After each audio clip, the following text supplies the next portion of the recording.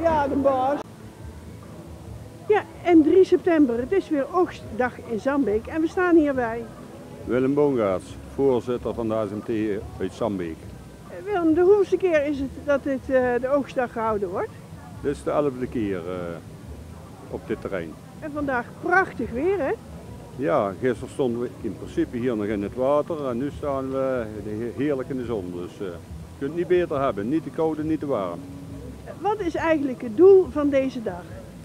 Wij proberen de mensen te laten zien hoe vroeger eh, het spul geoogst werd en gepland en alles. We hebben nu een, eh, de speurtocht uitgebreid met QR-codes en alles voor de jeugd. Dus kunnen ze nu met de telefoon een QR-code opvragen en dan krijgen ze een filmpje hoe alles gepland wordt en hoe het gepoord wordt en wat er van gemaakt wordt.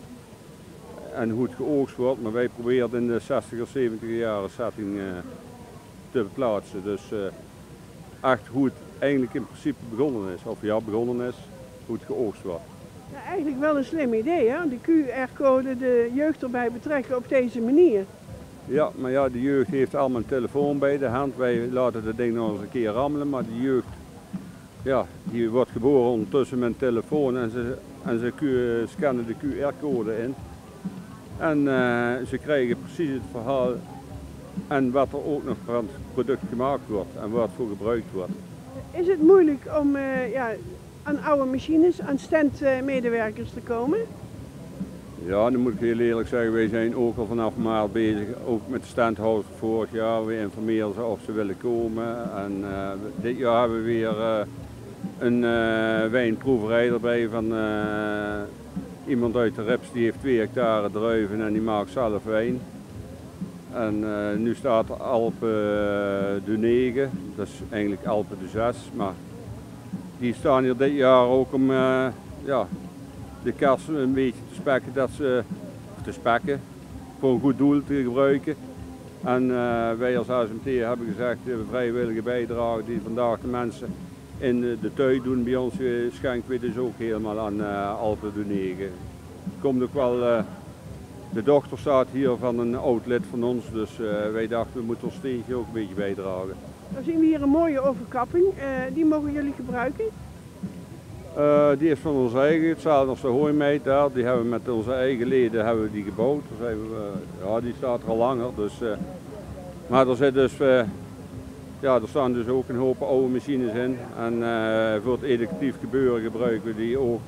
Zodat ze, de kinderen kunnen zien waar, met wat voor spul eh, ja, de, de gewassen geoogst worden. Want je kunt wel zeggen van dit is een suikerbiet. Maar wat gebeurt ermee? Hoe oogst je die? eh, hoe wordt die gezaaid? dus de machines staan hier ook. En dan kunnen we ook uitleggen waar het allemaal voor gebruikt wordt. Eh, wordt het basisonderwijs in Zandbeek hier ook bij betrokken?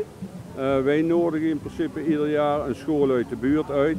Eh, en dan beginnen we met, eh, met de poort- en zaaidag en die begint in april.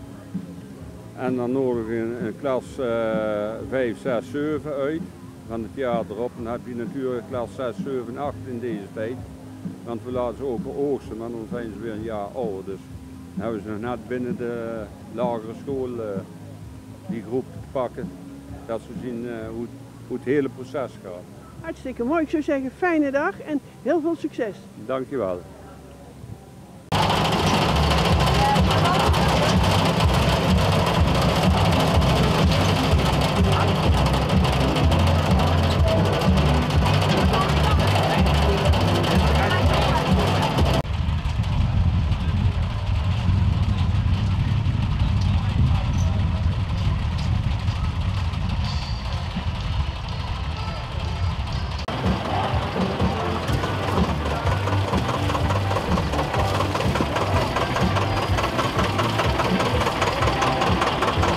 Staan we bij een van de bezoekers. En mijn vraag is natuurlijk, bij wie sta ik? Toon Peters. Toon Peters van de Nonnenhoek.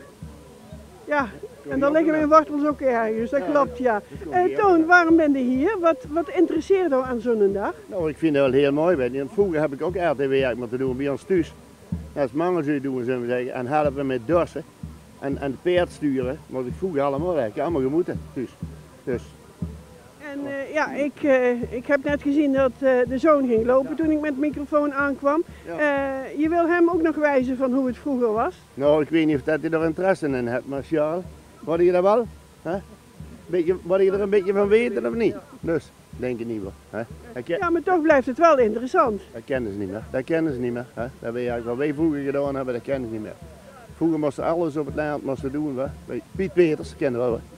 Oh, oh, oh, nou, een buurman, ja. ja dus, eh, wij- ik was raad met een boer op. Dus- Maar Wij deden een mand aardappelen rapen en dan kregen we 5 cent. Ja, dat klopt, ja. ja, ja, ja. ja ik moest ik had me vaak mis meer dan vijf uur moest ik opstaan, of zes uur. Weet niet, moest ik melk uit te halen, weet niet, ging je aan melken bij een boer. Hoor.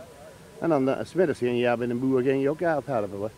Ja, die, die, die die elkaar allemaal helpen, die boeren. Dus. Eh, Toon, een laatste vraag. Is dit de eerste keer dat je hier bent of andere jaren ook hier Nee, geweest? ik ben al druk geweest, al een paar keer er geweest.